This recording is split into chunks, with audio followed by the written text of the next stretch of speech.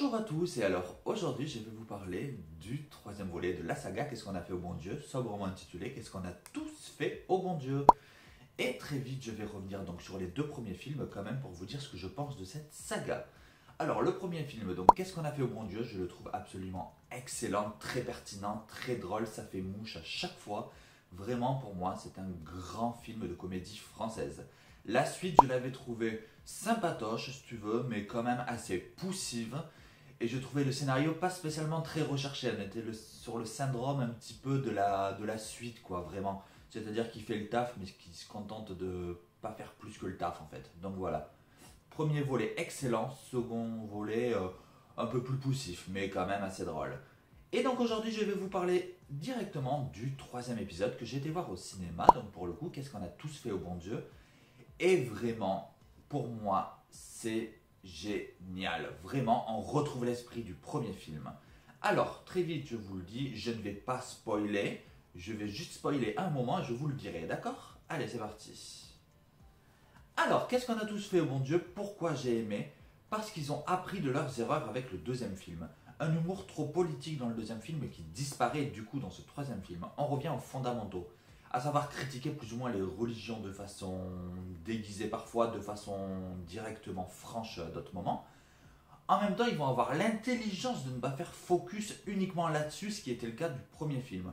Parce que sinon, ça aurait fait vu et revu. Là, c'est-à-dire qu'on va prendre le temps de critiquer les religions, mais en même temps, on va mettre en parallèle d'autres histoires un peu plus rocambolesques, des histoires de la vie. Je pense par exemple à deux personnages qui vont faire que s'affronter durant le film par rapport à un souci de voisinage sans rentrer en détail. Ça, c'est une espèce de running gag qui va être étalé sur tout le film. Et on a cette espèce de fil rouge, donc, qui est centré autour de l'anniversaire de mariage des parents. Et au milieu de ce fil rouge, on va avoir ce running gag autour de la guerre de voisinage qui vraiment à chaque fois va arriver comme un cheveu sur la soupe. Et ça va être une espèce de bouffée d'air frais à chaque fois parce que ça va un petit peu casser l'intrigue. Et en même temps, ça va la, ponctuer de, de, petites parenthèses qui sont nécessaires et efficaces. Il va y avoir pas mal de choses aussi qui vont changer certains personnages qui étaient en retrait dans les deux premiers films, je pense au personnage de Marie, là, ici, encore une fois, sans dire pourquoi, mais le personnage de Marie va être grandement développé et il était temps, j'ai envie de dire, et ça fait plaisir parce que franchement, cette actrice, je l'adore. Et donc, franchement, développer le personnage de Marie, pour moi, c'était la vraie bonne idée, c'était la vraie bonne chose à faire avant de conclure cette saga parce que ça m'aurait embêté qu'on ne l'ait pas fait avant la fin. Le personnage de Christian Clavier toujours autant savoureux dans ses mimiques, et j'ai pas peur de le dire parce que je l'ai déjà dit, mais je le redis. Pour moi, Christian Clavier, c'est un petit peu le nouveau Louis de Funès. Et une fois qu'il aura disparu, je pense que, hélas, on n'aura plus de grands comédiens français comme ça, avec ses mimiques, avec cette gestuelle, un peu effectivement donc à la De Funès. Et pour moi, c'est le dernier à faire ça, c'est le dernier à offrir ça au cinéma français. Et franchement, je suis pas pressé qu'il arrête parce qu'il va vraiment manquer, je trouve, euh, au cinéma français, hein, Christian Clavier. Donc, comme je l'ai dit, on retrouve l'esprit du 1. À savoir qu'on va critiquer les religions, on va critiquer un petit peu la politique, mais sans trop en parler, contrairement aux deux. C'est ça qui est appréciable. Et encore une fois, il va y avoir ces intrigues qui sont différentes de d'habitude, qui vont être centrées donc autour de la vie des personnages. Donc l'intrigue autour de Marie, l'intrigue autour de la guerre des voisinages, comme je vous l'ai dit, l'intrigue autour de la fille là qui peint, c'est génial là aussi. C'est plus développé que, que, dans les deux premiers films là aussi. Et ça fait plaisir. On a enfin réussi euh, également à trouver une intrigue propre à chaque genre. Et j'ai envie de dire, il était temps, parce que dans les premiers films, ils étaient là, mais ils n'avaient pas spécialement leur intrigue propre. Dans le deuxième film, ils avaient une intrigue commune, ça faisait un petit peu feignant du coup au niveau du scénario. Et là, on va vraiment leur trouver une intrigue propre à chacun. Donc il y en a pour qui ça fonctionne mieux que d'autres, forcément. Les parents, ça aussi c'est la vraie bonne trouvaille du film, amener tous les parents de tous les genres à être réunis ensemble, je trouve ça génial c'est une vraie belle trouvaille et surtout qu'ils ont réussi à faire que chaque couple de parents a une identité, une identité propre et vraiment, ça aussi je trouve que ça fonctionne du feu de Dieu. Le film dure une heure et demie montre en main, ce qui est largement suffisant parce que pour le coup on n'a pas le temps de s'ennuyer et c'est peut-être pas plus mal comme ça. Va y avoir cette scène au milieu du film où, qui va se passer entre guillemets en boîte de nuit sans dire ce qui s'y passe. J'ai trouvé que ce passage-là, vraiment, c'était la vraie bonne trouvaille du film. Mais vraiment. Ça arrive à un moment où on peut peut-être se dire, bon, maintenant, faut qu'il se passe un truc un peu plus euh, peps, quoi, tu vois. Et euh, Et pour le coup, ben, il y a cette scène qui arrive et là vraiment ça explose et c'est mais c'est gratiné quoi en fait. Et du coup, euh, ben, ça fonctionne. Là aussi, je peux pas dire mieux. Donc dans l'ensemble, vous l'aurez compris, je trouve que ce film fonctionne de A à Z. Il y a des nouveautés, à savoir un humour qui est moins centré sur les religions, sur la politique, tout ça, mais qui du coup va faire du bien parce que ça va être un humour un peu plus posé, un peu plus classique, mais qui est très bien écrit, ce qui fait que forcément tout roule sur des roulettes. Cette phrase est bizarre. Pour l'occurrence, c'est plutôt moi qui pars en roue libre. Mais bon, vous l'aurez compris, je trouve que ces nouvelles intrigues, entre guillemets, cette nouvelle humour un petit peu différente, pour moi, ça apporte une fraîcheur à cette licence qui en avait grand besoin. On a le sentiment qu'effectivement, ça pourrait être le dernier épisode avec cette scène finale. Et je pense que ce sera le dernier épisode au vu de tous les déboires qu'il y a eu autour du film, mais je ne rentrerai pas là-dedans, désolé.